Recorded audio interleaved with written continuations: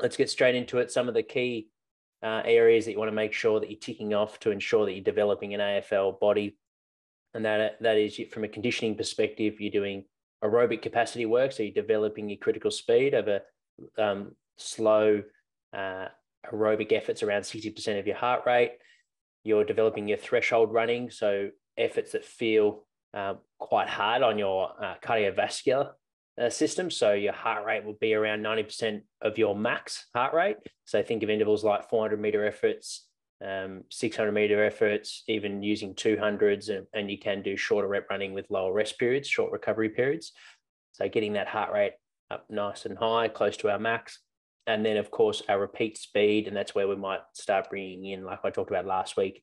The benefits will be around player availability. So by um, ticking off those key areas of the game, you'll be uh, a more resilient body to be able to handle the demands of how you play, uh, both from a volume point of view, so your distances that you cover uh, with that um, critical speed aspect that I talked about, which is low intensity, threshold running when the game gets at its hardest. So those repeat efforts that you need to do and your heart rate gets really up, you're getting up and off the ground, you're tackling, you're uh, fending people off, you're doing a hard sprint, you're then jogging back. So that continuous intermittent nature of the game.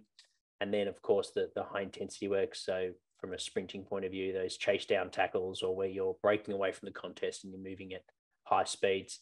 Moving more into the strength and power side of things, it is a, obviously a contested game. So, we want to make sure, and from an aesthetic point of view, when if you're for those that have clicked this link and you want to develop an AFL body, maybe you don't even play the football, but you just um, want to look like how the athletes look rather than look like a bodybuilder or, or other type of athletes. Um, you might want to look like an AFL footballer, which are naturally quite lean and that athletic shape. That's where the strength and power program comes in. So typically we'll do our volume based work to build muscle mass in higher sets and um, not in higher reps. So what I mean by that, at times you'll actually flip what the traditional what a traditional bodybuilding session might look like of let's say four sets of eight to 12 reps.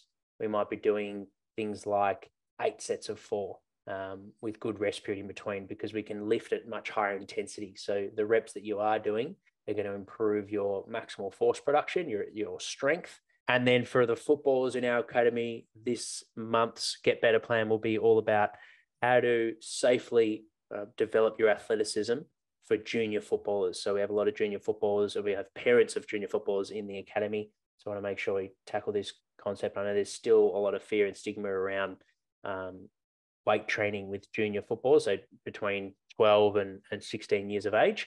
And I want to try and um, crush those myths. So make sure that you're, you're confident in how to lift in the gym, whether you be lifting with your son or lifting with your daughter, and how to do it in a safe manner. But also for those that not aren't going to the gym or haven't got um, a strength and conditioning coach that you've got access to, how important it is to seek one and, and start working on your athleticism for those that are really keen to, to work at the top level. And then we have another opportunity to join our Prepare Like a Pro coaching team, um, a junior coach, we're now calling it rather than an internship. So if you're a qualified strength and conditioning coach, you're looking to cut your teeth, uh, the Knox Football Club have signed on to our program. This is where I support a junior strength and conditioning coach who's looking to work at the highest level. It doesn't have to be AFL, but they want to work in a sport. They've got a minimum of bachelor degree in sports science if this is you and you're interested to take on our Knox Football Club program, it is paid. You get two grand for the year, one grand preseason, one grand in season.